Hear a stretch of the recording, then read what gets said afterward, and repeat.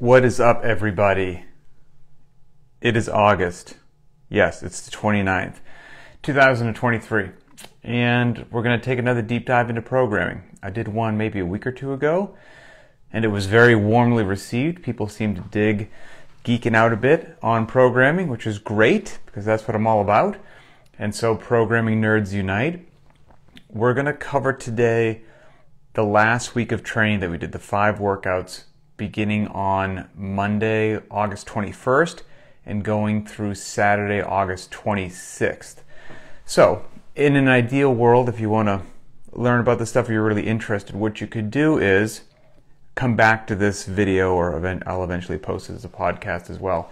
But write out those five days of workouts Monday, Tuesday, Wednesday, Friday, and Saturday, what the workouts were.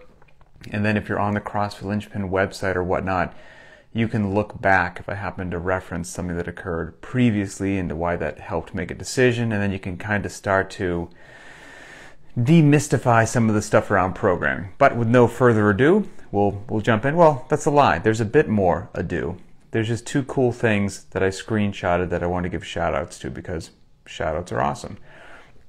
The first is from Kurt L, and this is about the squats that we did last week, which is one of the days that we'll cover. And he got a new uh, five rep max of 220 pounds on a front squat, which is fantastic. And Kurt says which, what's cool is his 10 rep max and excuse me, his old 5 rep max used to be 195 pounds, and now it's 220 pounds. That's a significant jump, 195 to 220. He said he's almost at 225 but couldn't quite get it. And this year I've made more ground on my front squat while performing it way less often than ever in my life. It's almost like the variance works or something. I think that is something, you know, we beat the drum about often here. You don't have to lift every day to get really strong. As a matter of fact, I think that's a terrible idea.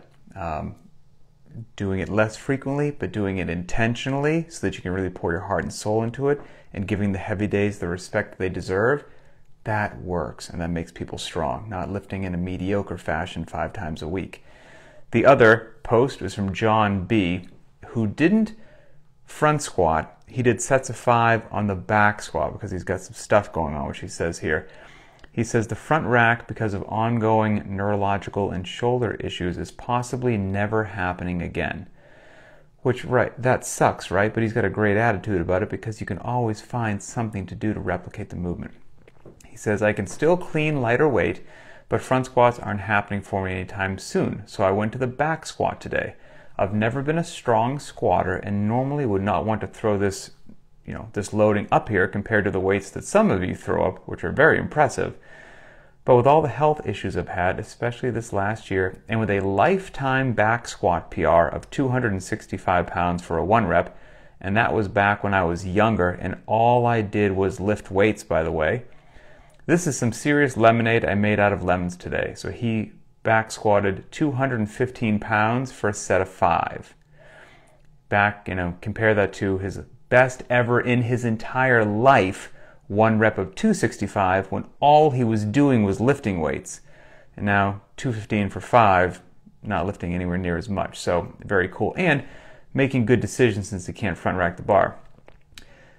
Thank you, Coach, and all of you in this community for allowing me to feel proud of days like this by convincing me over the last year that scaling is indeed cool. How awesome is that? Okay, so now we will jump into the workouts for all the programming nerds out there. And like I said, check it out, write it down, and come back to it. So on Monday, which was August 21st, we had a real gem. We had three rounds for time, 60 air squats, 30 GHD sit ups, and a 1500 meter row. And the purpose of this day of training was right out of the bat going long. The time domain on this workout for most people, depending upon how much you enjoyed it or didn't enjoy it, was anywhere from on average 35 to 45 minutes. So a long workout to start the week. And not just a long workout, but a long workout with no loading at all. So we had two gymnastics movements and one monostructural movement in this. We also had below parallel was an intentional point of this workout as well. but in below parallel, in big chunks of work with no external loading. So sets of 60 air squats, three sets of 60 air squats, right? Much different than how you do air squats on like a 20 minute AMRAP of Cindy where every time you hit it, you're doing, you know, sets of 15. This is three big sets of 50. And of course the midline blast there with the GHDs as well. So that started that on there, right? It's like we say, live your life in couplets and triplets, go heavy at least once a week, every now and then go long. There's your every now and then go long. Start off the week right. Put a smile on everybody's face. So that was Monday. On Tuesday, the 22nd, August 22nd, we had a hero workout that everybody loves, DT. DT is very different than what we did the day before. So the day before, no barbell at all, zero loading, gymnastics, gymnastics, monostructural. Now on DT, you've got five rounds for time of 12 deadlifts, nine hang power cleans, and six push jerks. So a barbell movement followed by a barbell movement followed by a barbell movement. So weightlifting, weightlifting, weightlifting. And time domains are quite different as well. Whereas on Monday it was 35 to 45 minutes.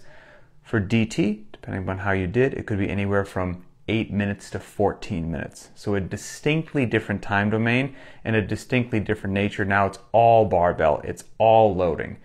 And we are and I, I, would call DT for most people, it's 155 for the men, 105 for women as prescribed. I would say for most people, it's a heavy day at a high heart rate. Now, maybe you're just so unbelievably strong that that's a laughable load for you, but for most people, throwing around 155 for, or 105 for five rounds in that rep scheme is a heavy day at a high heart rate. So that's how I would also categorize it when I'm laying out the week's programming and finding out what days are light, what days are long, what days are classic heavy days, what days are heavy days at a high heart rate, what days are intervals, what days are whatever they happen to be. That's how me personally I would look at DT. You don't have to look at DT that way at all. All that matters is you have a way as a programmer that is consistent and helps you classify certain things so that you can see where you've been you could see where you should go and where the road is leading you. So your system doesn't have to be the same as my system.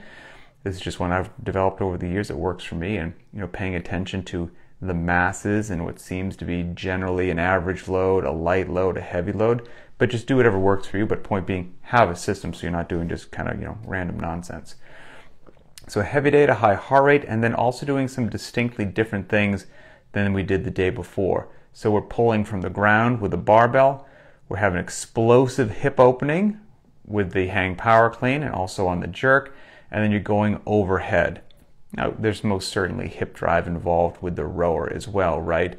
But it's not anywhere near the explosive hip drive pull from the ground with a loaded barbell that you're getting on DT, especially when you consider the fact that, you know, for just sheer um, what is that? I'm losing my train of thought right now, right? Like the metabolic pathways and the various engines, right? So the longer in time domain something happens, by its very nature, the power output goes down. Well, you're talking about nine hang power cleans in DT, relatively short, explosive, heavy loading. Yes, there's hip opening with what we did the day before on the rower, but every time you hopped on the rower, it was 1500 meters. So let's just call that six minutes of rowing every time you hopped on the rower.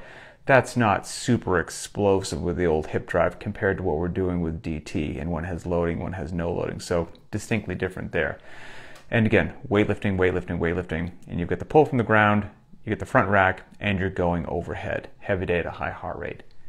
Now we move on to Wednesday, August 23rd. I liked this workout. I'm not saying I did great at it, but I liked this one. Wednesday was four rounds for time of a 400 meter run, 12 chest to bar pull ups, and 12 burpees. Regular old school burpees, not over a barbell, not over anything, just old school burpees.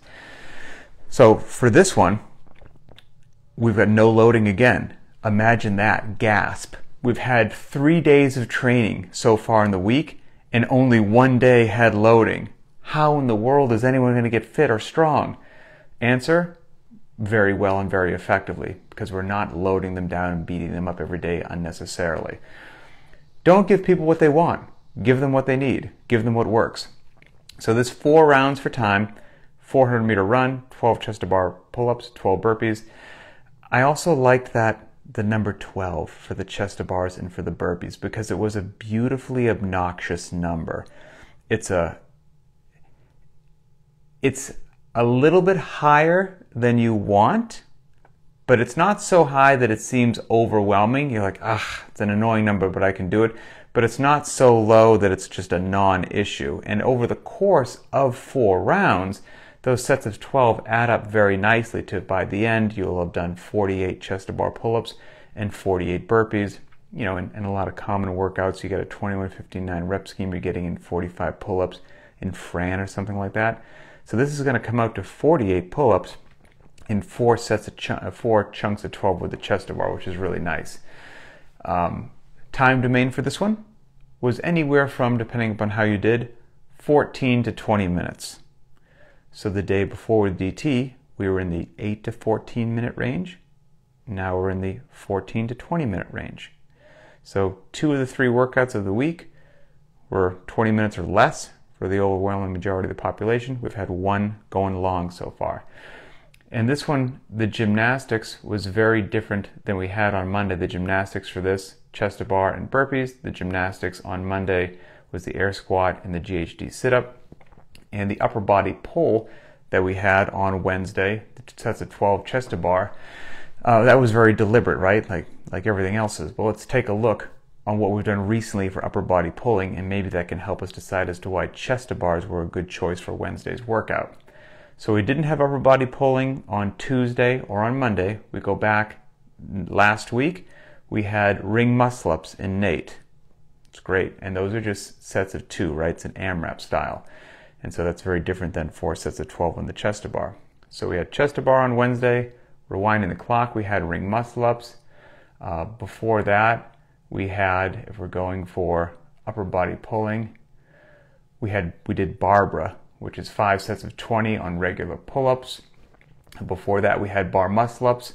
So if you keep rewinding the clock, we're covering our bases really well with the different types of upper body pulling that we're exposing the athletes to, the rep ranges, the time domains, and all of that. They're all intentionally laid out, and that even though we just chatted right there about upper body pulling, you could play the same game with below parallel, the same game with how we're going overhead, the same game with um, the monostructural component, all that good stuff. Because, well, exactly. On Wednesday, we had 400 meter runs in the workout. That's the monostructural component. Tuesday didn't have one, but on Wednesday, what was the monostructural component? Three rounds, and each time you hopped on the rower, not a run. And it was quite different. A 400 meter run on Wednesday, ballpark two minutes. 1500 meter rows on Monday, ballpark six minutes. So very different in the actual modality, running versus rowing, and quite different in the time domain. You know, one's a third of the time of the other. On Wednesday, excuse me, on Thursday, rest day. Absolutely glorious day. Who doesn't love a rest day? I certainly do. Then on Friday, you are you are treated with a gift that you have earned because what have we had previously we had three days training monday tuesday wednesday and like i said only one of those days had loading two out of the three days had no loading. So guess what? You're not feeling beat up from loading. And you haven't gone below parallel since monday. And now it's friday and you just came off a rest day. And what's the workout of the day? Five sets of five on the front squat. So if there's a way to set you up for success on five sets of five front squat, it's everything that I just laid out right there. And so, yep, we're going below parallel for the second time of the week, and we're doing it in a classic heavy day. We're respecting the heavy days. We're not doing anything else. Beautiful warm up. Increase your working, uh, your warm weight as needed. Hit your working sets with like two to four minutes rest between each if you so desire cool down, stretch, go home, take the full hour, get really, really strong. And that's why that works. And below parallel, quite different than what happened on Monday. Here's five sets of five for as heavy as you can go versus three sets of 60 unladen air squats on Monday. There's a big difference there. We touched a barbell on Tuesday with DT. We're touching a barbell today, but on DT, we didn't go below parallel with that barbell. Today, we are going below parallel with that barbell. So all of it is intentionally and distinctly laid out in a way to help the athlete just make steady, consistent progress, not for days or weeks, but for a very long time. And so that, and let's look at um, the last couple below parallels. So this is Friday, 5 by 5 front squat, dedicated heavy day. Monday, three sets of 60 air squats. Go back to the next week. We had a miserable leg strength stamina day that was had some 135 pound barbell front rack walking lunge. Those are absolutely terrible. We had some squat snatches, so we're getting a nice chunk of variance here. And then closing out the week on Saturday, a workout that my wife absolutely hated. And so, you know, that made me happy. This is, this is Saturday, August 26th, and this is interval day. It's three rounds of two minute in a two minute window, max strict pull ups, weighted. You choose the weight. Just do as many as you can with the weight that you choose in two minutes. You rest two minutes, then for two minutes, as many kettlebell snatches as you can. You choose the weight. Do some with one arm, switch to the other hand, do them with the other arm, switch back and forth, get as many reps as you can in a two minute window. You then take two minutes rest. In the next two minute window, how many toes to bar can you get? Two minutes rest. And in the final two minute window, the glorious two minute window, you hop on the air bike and you pedal your tail off for max calories in two minutes. You're gonna do that three times. So it's a it's a one to one work to rest ratio. You work for two minutes, you, sh- you um, rest for two minutes. Work for two minutes, rest for two minutes, and you go through that three times. So by the end of it, you will have done three two minute windows of the pull ups, the weighted strict pull ups, three windows for the kettlebell snatch, three windows for the toes to bar, and you'll have hopped on that terrible bike three times as well. So now, if we're talking just straight up time domains, this one to one work to rest ratio, two minutes on, two minutes off, is quite different than what we've done. Monday was long, 35 to 45 minutes. Tuesday was 8 to 14 minutes. Wednesday, 14 to 20 minutes, depending on how long it took you. Friday, dedicated heavy day. And now Saturday, two minute windows, interval training. Covering our time domain bases really well. And what we have for modalities here, gym, we're gonna, even though you're, you're weighting the pull ups, we're going to call weighted pull ups a gymnastics movement. Gymnastics, weightlifting with the kettlebell, gymnastics with the toes to bar, and then monostructural hopping on the bike. And so Monday we were on the rower, and we were on the rower for 1500 meter efforts. Wednesday we went out and pounded the pavement. We ran, so different modality, 400 meter efforts. And now on Saturday, we're on the bike, so yet a different modality. And we're on it for two minutes, okay? And two minutes is a similar time domain than how long, than the, than what we were running on Wednesday with the 400s. But Wednesday was not interval training. That was a four round workout, mixed modality workout, back to back to back to back. So when you took off on those 400s, you weren't sprinting, that's for darn sure, because it was four rounds nonstop. It was a moderate effort, most likely. Well, now, yeah, it's two minutes, but you had two minutes rest before you hopped on the bike. You're going to get two minutes rest after you hop on the bike. And so this is going to be a very different two minute. It's going to be a burn the house down sort of a thing, if that's what you so desired. And then weighted strict pull ups. I've been very vocal and honest about this. I think everybody's life is better with more strict pull ups in it. And then on top of that, you had the wonderful variance of not just strict pull ups, but weighted strict pull ups, and everybody benefits from that. And this was a great day to implement some scaling as cool, some modifications, some figuring out what we're doing and why we're doing it, and having it meet your needs because maybe just strict pull ups are hard enough for you. And you're like, thanks for making a workout that I can't do. Like strict pull ups are hard enough. Now you want me to do weighted strict pull ups? You're out of your mind. That's okay. Scaling and modifying is cool. If you can do the weighted strict pull ups, you do them. If not, maybe what made, you know, challenge yourself as much as you can while being safe and intelligent. And so if you couldn't do weighted strict, maybe you just do strict pull-ups for two minutes, see what you get. They don't have to be unbroken, hop on and off the bar, see what you get in two minutes. If that's not quite where you're at yet, again, the goal of trying to build some just pure strength without the kip, then give yourself the absolute lightest band in the world that allows you to hop up and makes just you can do five pull-ups and they're really tough. Then you have to hop down and shake it off, put the band back on, you do another set of five. That and maybe you do that three times in a two minute window. So you did three hard sets of five pull-ups, you know, maybe four sets. That's a nice little ratio right there. That's a day that you get stronger and you can make this workout meet you where you are. The kettlebell snatches, really cool. You've got that hip drive, there's a midline component, there's the coordination, accuracy, agility, and balance of the movement itself, and there's some beautiful single arm overhead stability for the shoulder. Just a beautiful movement. It's fantastic. Toes to bar, just midline, quite different than we've done previously in the week, because what do we do? On Monday, we hit the GHD sit ups. Right now, we're hitting the toes to bar. We go back last week, we had hollow rocks in there uh, and last week we also had toes to bar, but quite different. You had a chunk of work, you had to do 60 toes to bar strict. As many sets as it took you to do that. That was the beginning of the week. Now, about 10 days later, here we are, kipping those toes to bar. And then the two minutes on the air bike. Everybody wins three times through. And so that's it.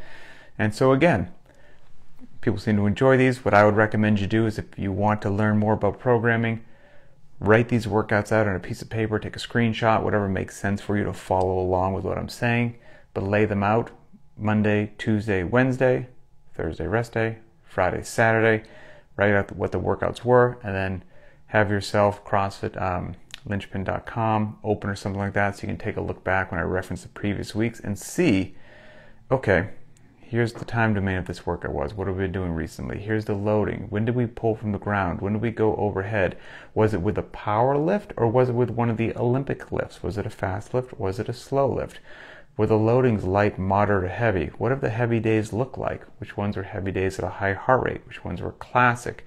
All that kind of good stuff. And then how would you categorize the movement? Because, like I said, I put DT under the umbrella of heavy day at a high heart rate for most people that I encounter, I think that fits really well. Maybe that does or doesn't work with your crew. That's irrelevant.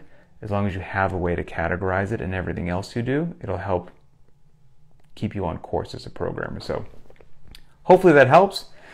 Have a great day, everybody, and we'll talk soon.